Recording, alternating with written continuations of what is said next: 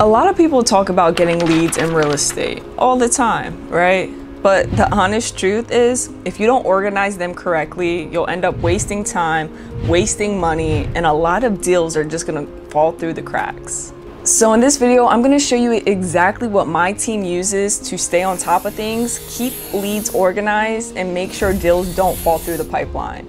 So with that being said, let's dive into my computer and show you exactly how I keep my leads organized. All right, so we are in my CRM. And for those that don't know, like I'm super transparent about what I'm using. And right now I'm currently using REsimpli. I'll leave a link down in the description if you want a discount. If you don't want to pay for a CRM, hey, that's good. You know, save your money, that's all good. Um, you can also use like Google spreadsheets. You know, if you're new, um, Podio, I believe, has a free version of a CRM that you can use, but I highly recommend you get a CRM. You wanna make sure you're on top of things and I mean, this is what this video is about, you know, following up, staying on top of things, staying organized so that deals don't fall through the, the cracks there. But this is what it looks like if a lead just came in the pipeline. So this lead came in five hours ago, right? Um, we can see the timer going off. So one of the team members got to follow up with them ASAP, right? But this came from cold calling. So with our cold calling system, literally once um, one of our callers marks the lead as a lead, it goes into our CRM automatically. So um, this is literally what we would do. So once a lead comes into our system, we take this link and I just have to download it. I'll go back here and then I'll add it into files. Put it into our files over here. Let me just move that. And I'll drop it in there. What I just do, just so the team knows, that's like the initial cold call. So we can listen to this, whoever's, you know, hitting this lead first, we'll click on this, the audio will pop up so we can hear you know, how that conversation went with that previous lead, but we also have some notes or sometimes we have notes, sometimes we don't. So it's good to, you know, listen to that recording there. Um, task, it'll show like, okay, it's a new, new lead, discovery call. It's time to hit this lead up. So all that we would do is we would go over here, we go to actions, and then we would make this call. And then we would literally make the call. And honestly, just because we haven't hit this lead up. Oh no, actually, I think my team member is calling them right now because the green line is. I was about to call them, but all right, so that's that. We would literally just make the call, click call, send a message to send a message. I, I'll be honest, I haven't done direct mail with REsimpli yet, so I'm not really sure how that uh, will perform. Um, now, if this is a hot lead, we'll mark it as hot. Right now, we're not even sure if it's a hot lead, right? So it really just depends on the motivation of the lead and what we focus on a lot is the urgency of the lead. Now, let's say um, one of the team members, they got through to the lead, they got the information like the urgency, um, the ballpark price, the motivation, the condition, all that information. Then it's like, all right, we can move that over to contact made. We do phone appointments, so we could put it for appointment set. Due diligence phase, you know, if we're running numbers. This is the time where we're, you know, getting comps for the property.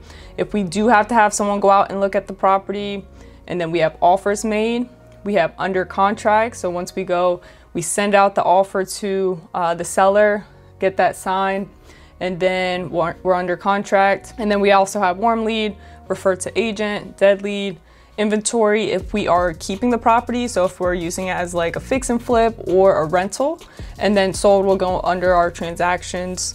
You know, let's say we're doing a wholesale deal, a novation, double close, assignment. So it literally brings us through every single step of the process. And I would go over here, like if we go to active leads, you'll see a whole bunch of leads, but I don't wanna, I can't expose all our, all the properties we're working on, right? Now the nice thing about this is like, which I'll show you, this is just a new lead. I'll show you a lead that was completed. You can see like communications where it will just show the phone calls between us and the seller. Um, notes will just only show the notes portion and then communication and notes will show all of it. And then all will show like the task and everything like that, like everything that has been completed with um, this lead. Now, you can also use eSign. I think I used it once a while back, but I like Dotloop when I'm sending stuff out uh, for, for agreements and stuff since I'm also an agent, so it helps that way, but you can also use the eSign feature. But literally after this, so when we do move like a task from, I'm not gonna change it now because he's on a call currently, but when we do move it over to like a different segment, a different part, then we have new tasks that automatically pop up. So it literally keeps us on board of what we need to do. And let's say we need to do something specific where it says, even if it was just like, uh,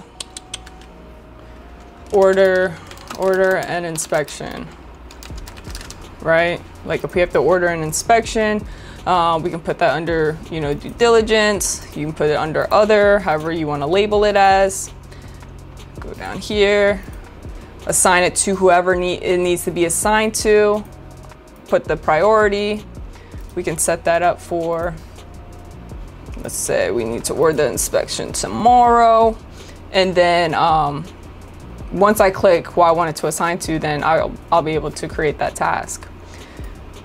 So that's that. That's how like, you know, with new leads, how we just make sure we knock it out, how we also make sure we're staying on top of everything with that. But let me go to one that has been completed. And this is a portion where like if the lead hasn't been qualified, like if we weren't able to get all the information with motivation and urgency and stuff, then we're not gonna check this because this lead is not fully qualified. We wanna make sure it's qualified. So if it is, then I would check this button and it would turn green instead of red. So let's go over to this, this property here. So this is a lead back in April 28th. It closed May, it closed, when did it close? Back in June. So it took some time, but this was the full on setup. We had the lead info, we have it as sold because the property did sell. This was a double close through cold calling. So one of the callers got this lead. Um, owner is selling property for 25K, three bed, two bath. Property needs some work since there's no upgrades to be made. We have the call recording so we can click it here. Um, property is currently vacant. Owner can sell ASAP. He bought it for her mother, but she's not around, so he wants to sell. So we're just literally just adding the notes of what needs to be done, right? I said, ask if he thought about keeping it as a rental, because uh, you just never know. We want to get through those roadblocks at the beginning so that at the end of the conversation when we're about to make that offer, that roadblock doesn't pop back up. Like we want to make sure everything is out the way before we, you know, move forward with making that offer. So that's why we're asking those those questions there. But yeah, literally just messaging. We'll call, message, call, message, add the notes, have it as a wholesale at 50K, purchase at MAO, and MAO means maximum allowable offer for 25K. So that means we can't go over this. Like this is our maximum allowable offer we can do. We have safer option to get for 25K and wholesale do a double close at 35. Because if we do a wholesale deal, that means we actually own the property. Whereas a wholesale deal, that means we don't own the property, we just have equitable rights to the agreement, to that contract. So it's just less risk. There's no risk really with wholesaling. So here's just the, it's a mobile home. So here's all the numbers that, you know, all the notes we have um, that we would want to tell the end buyer you know, all that information. We got the dog fees up in there. We had the task, task reminder. So the task reminder comes from us making those tasks. Over here, you can see there's 20 completed tasks of all the stuff that was done, all the stuff we needed to do. 20 completed, zero pending because it's closed. Now, go down here, we're now under contract. The price was 25,000, EMD 100 bucks. Guys, you can literally do a $100 EMD. We've done it all the time. We probably get pushback, I don't even know, like very little, very little. Unless someone brings up, I want my attorney to look at it, okay, then we'll get some pushback. But usually $100 EMD, pay all closing costs. Next step, find cash buyers, add videos to the Google Drive so we can send it out easily. Under contract price, 25K, put it out for 38.5. And then just making sure each time, like we gotta go find a buyer, we gotta go find a buyer. So making sure we add that task in. Over here, we showed that, okay, we got someone to sign the JV agreement and we have to do it slightly different um, in PA just because of the new laws and everything like that. So you just wanna make sure you're aware of that. Going down here, just making sure that we're adding tasks to stay connected with the title company, making sure we're on top of things with title, like, okay, are they moving forward with the process? Is there any documentation that we need to get, that the seller needs to get, that the buyer needs to get? Because honestly, we're just the middleman trying to push the whole process along to get to closing. So that's why we got to stay on top of it. And you got to stay on top of things to make sure that deals don't fall through. Because even though you get a deal under contract, even though that buyer signs that assignment agreement or whatever, that doesn't mean you get paid. You only get paid once the deal closes. So you always got to push for that, push for that closing. So um, right here, confirm we're all good to close next week for the property. And then make sure the 13,500 hits the account. Make sure everyone gets their commission. And lastly is we close. So shows that sold. We were able to get this deal from start to finish in the pipeline. And that's how we stay on top of things, you know? Also had a task in here to like reach out to the owner to have them write a review because reviews also help your company to grow on Facebook, you know, on just all social media pages, on Google. So you want to make sure you're on top of it, not only on just like the front end of things, but also the back end of things with social media. Cause I literally got a lead call probably like two hours ago. They found our information just from our website, right? And we post on social media, post on Instagram, Facebook, YouTube. So don't underestimate those platforms. Make sure you're posting on everything. Make sure you're you're having that good brand presence online because people are gonna look you up to make sure you're not a scam. And yeah, I would say that, but REsimpli is a great platform to stay organized. This is not no promotional video. I'm just showing you exactly what I use. And like I said, if you want to use them, just comment down below. Actually, in the description, there will be a, uh, a discount link for you. But yeah, that is it for this video. It looks like it's not, it's not hard. It's really not hard to stay organized as long as you have the right platform. Now, if you do go for a cheaper the cheaper route, whether that is Podio or um, the free version of Podio, because I know the advanced version of Podio, you can do a lot of autom um, what is it? All like just automate autom wait, what?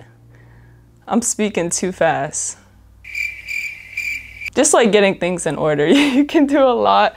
Um, you can do a lot on that side of things of what's the word I'm looking for? Autumn auto um dang. I forget the word. Y'all know what i mean. Y'all know what i mean. But um just making sure everything is in place with that. So but if you go the free route you're gonna have to just step up your game even more. It's not gonna be as easy as REsimpli is with you know adding the task to do this and that but I hope this video helped you. Uh, if it did, make sure you give this video a thumbs up. And if you wanna watch a video on the total expenses that it takes to run my real estate business each month, then you're gonna wanna make sure you watch this video next.